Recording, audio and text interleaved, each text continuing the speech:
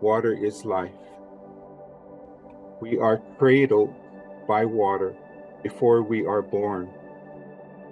Water gives life to all our foods and medicines. We are all related to water. Water has its own life force, its own consciousness. Water has a spirit with its voice and songs.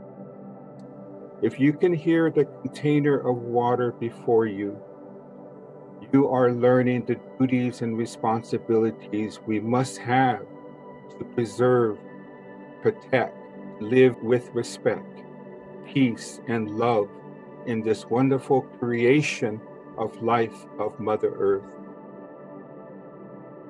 Hello, everybody, and welcome to the European Tribunal in Defense of Aquatic Ecosystems. A rights of nature is a new approach to environmental law, which views nature not as a series of resources that human beings can use, but as a living subject with its own interests and rights. The tribunal is a people's tribunal. It has been established by people like all of us here today who are deeply concerned about the issues facing humanity in the 21st century and who are determined to do something about it, even if their governments are not. The tribunal is in many ways a prototype of the kind of institution that ecologically sustainable societies will need. In other words, we are experimenting with a new form of court, which, unlike existing ones, is capable of taking a holistic view of the situation.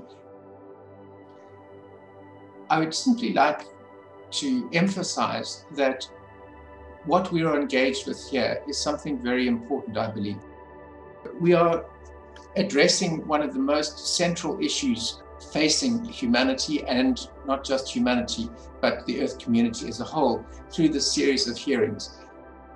These hearings of the European Tribunal are specifically in defense of aquatic ecosystems. Water is absolutely central to the Earth community. In many ways, it is life. And like life, it flows through the system and binds us all together.